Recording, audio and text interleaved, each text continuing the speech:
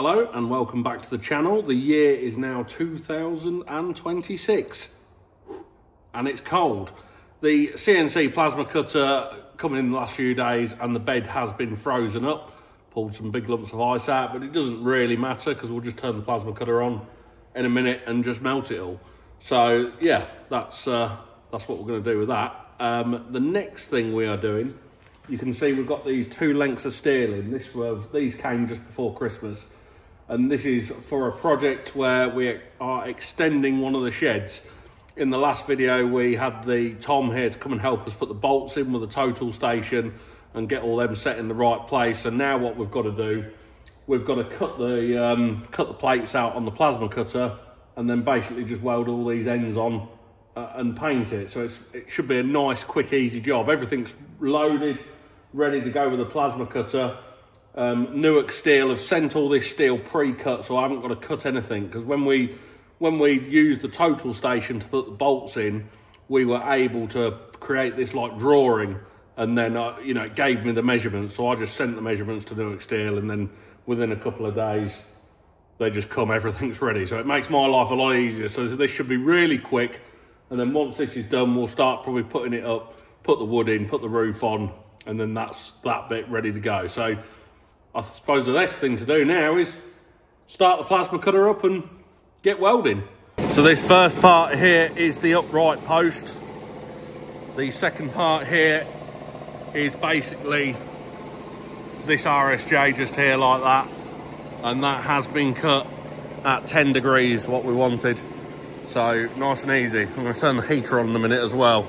I could do with a bit better heater because that doesn't really get this workshop very very warm at all, especially when it's cold.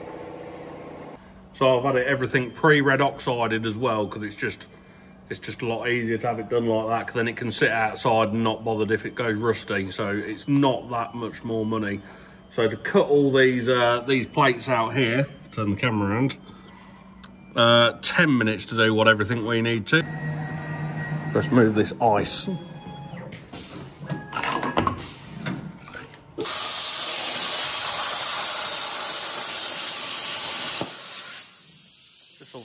Soon melt it.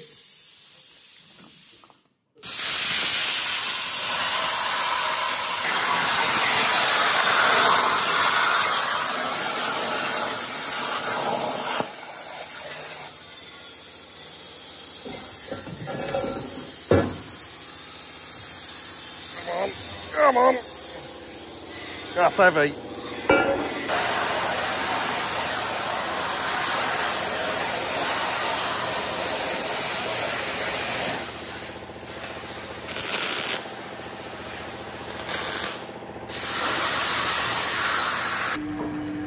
That one done. I just want um, a bit smaller plate for the cleats that go on top to hold the wood.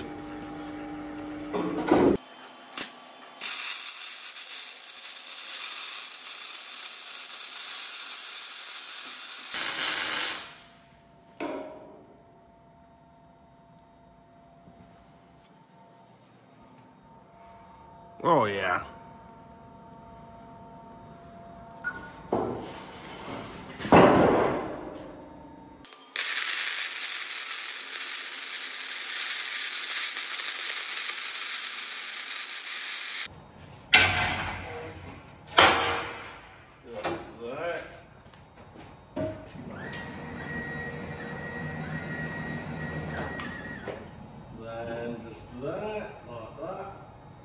Just make sure it fits.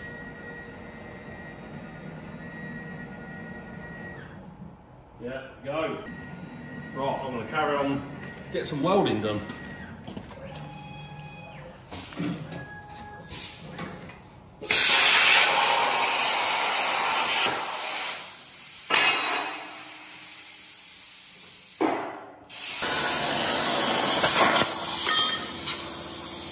These are now our cleats that hold the wood on. So I've just oversized them slightly like that, one there. And then there's uh, there's six on each RSJ. Another one down there like that. Might just reinforce them behind as well.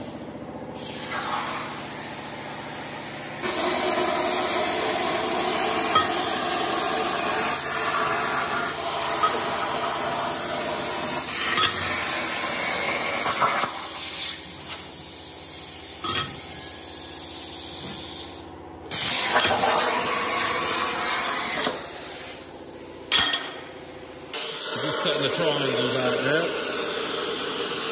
Should be nice and easy. So that triangle fits in there like that. Uh, then I'm just going to cut a bit of flat out. Um, then all that can be welded up. Just welded these cleats on as well up here. Put a bit of gusset in there. We'll do that in a minute as well.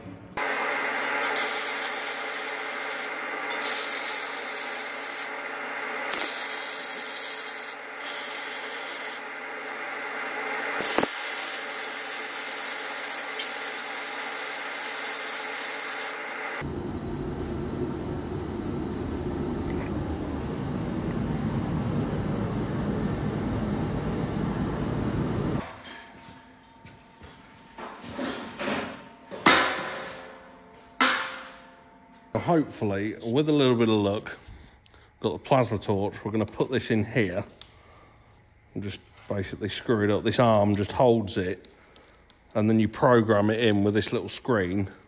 I've put the memory stick in the side there, so I've transferred the drawing off of the Swiftcut onto this ArcDroid, and hopefully it is going to cut. We need we need the holes here, so that stanchion's all completely done now uh, we now need the holes for this. And instead of drilling them, hopefully the plasma cutter is just, I'm just going to zero it to the correct position and it's just going to, uh, it's just going to cut them out, but we'll see how effective it is. All right, so that's it. We've got a drawing just here. I'm just going to zero it so it um, calibrates itself. And uh, that's basically what we've got to cut out just here. Got to put these holes like that plate onto there like that. So I'm just going to zero it. So if I pull that round here, moves that little green dot, look. If I screw that, we can set the height. And it's on that line there, which I've marked. Where was it? About there somewhere. Now I need to check with this arm. That green bit there, that should come down. There's that corner yeah, it's pretty much bang on. Check that other corner. Yep. And then there, and we should be able to. I just need. I just need to um, turn the turn the feed speed down. About 600. Right, we'll give it a run. Just want to make sure the pierce height is correct and the feed rate. So it's about to come along and do the first hole. So we should see it go down, touch it, move back up. That's done the height, that's doing the pierce, now it's doing the hole. Like that, and then it should move on to the next one, hopefully.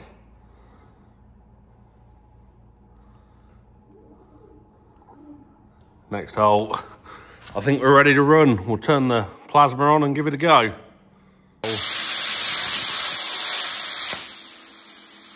Just had a little go. Just done a couple of centre pierces, but I messed it up because I moved it by accident. But I can turn the plasma on and off. Right, just dry running it again.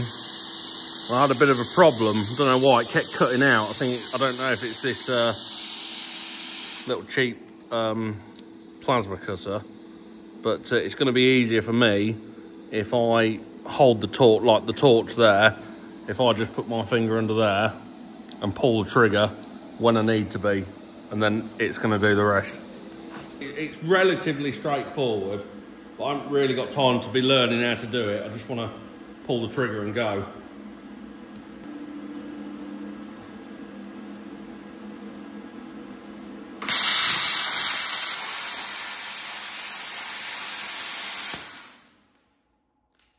Oh, now it's burnt the plug out. So the problem that's happened is it should have been on this blue plug, but I haven't got a blue plug. So I've only, it's just blown the fuse in the plug I put this in. So we're actually gonna, we just, there we go. We have had success with the bolt. Right, let's try that again. See how we get on this time.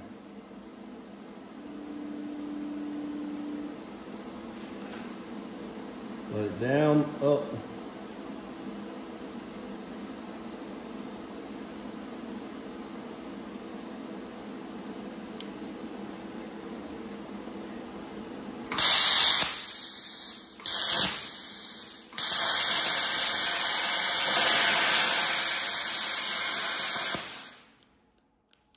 Oh, it's blown again. Um, so what it's done this time, it's uh, blown the heat trip on the uh, extension lead, but um, I need to get a blue plug fitted so I can uh, I can use it properly. But you can see what it's going to do. You can see it's it started cutting the holes, but got halfway round, and um, just keeps blowing the plasma cutter basically because I'm running it off like a 13 amp plug where it needs to be on a bit heavier duty one. So I think I'm just going to get the drill out for the time being and just mag drill them out and then um, we'll have a look at that at a later date.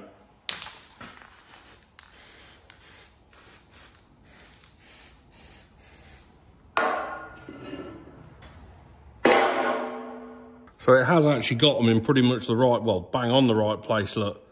So look, it's half cut, it's half cut these ones and then obviously I keep losing power. It's pierced these ones, but it has pierced them in pretty much the right place because my plan was to G-clamp this. When I want to cut some holes like this, I could put a big G-clamp around that box and take it up the side of like one of the RSJs up there and then just press go and then it will cut all the holes out without having to mag drill them. But um, in this instance, I'm not, I'm not equipped for the job. I need to get some uh, different power supply in.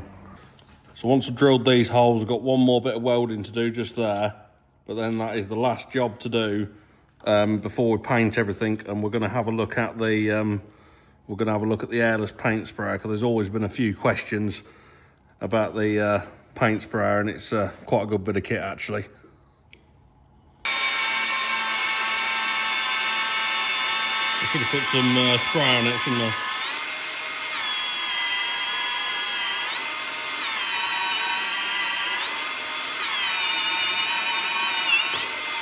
That's quicker.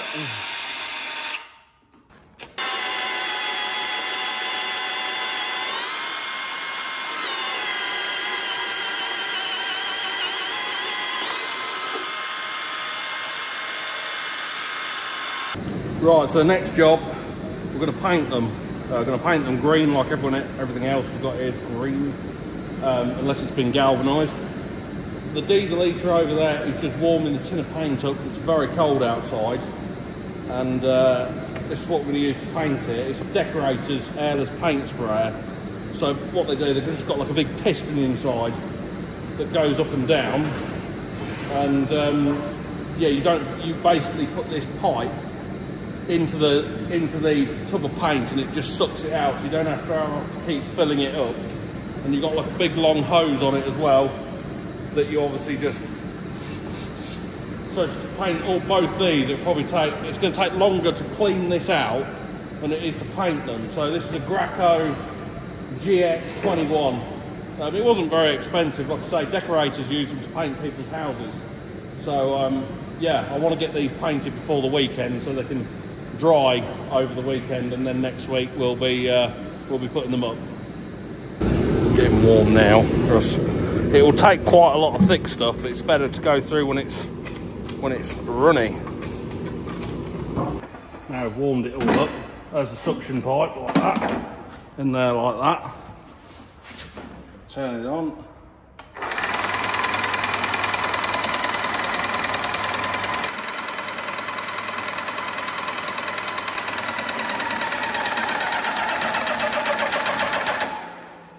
And that is it now primed. So once the green paint's come through, we'll paint.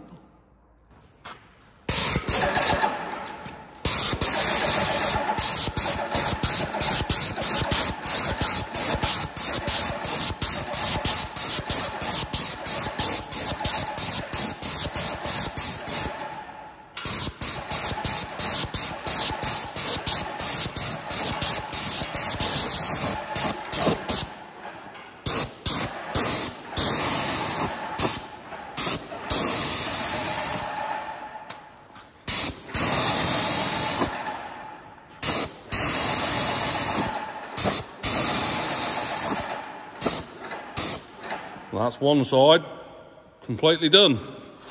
And then we'll just get this end done.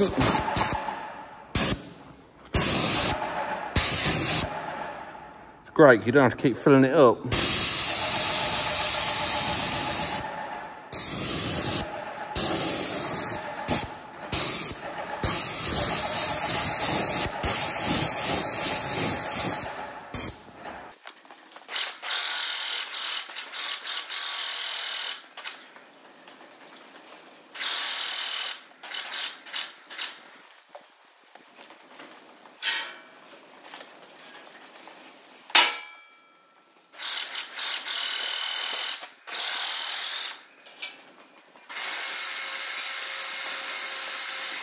So that's that done. You see the quality of it, it's a lot better than putting it on with a paintbrush. I've got it all over my dad's chair. But um, yeah, so now we've just got to clean the gun out. Didn't take very long, did it? Just gonna empty this green paint out and put some thinners back through it again.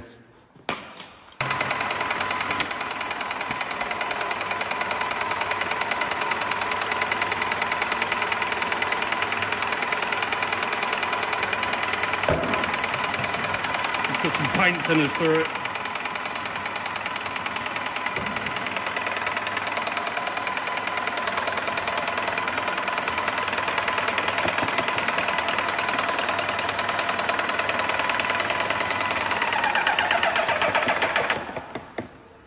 Load it up with with paints and thinners if I put that. Oh, got paint everywhere. Put that on top of there like that to hold it. And spray the rest outside turn the nozzle like that to spray all the green paint out so the thinners come through and then it's cleaned out. That's it.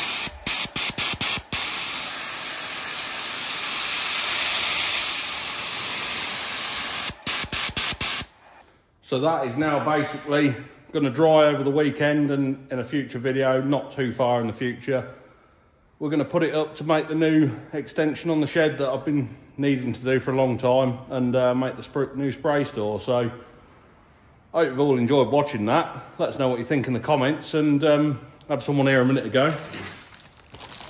Bought me a load of beer. So watch out for one of those videos and uh, you'll see me in that video. So see you all soon. Bye-bye.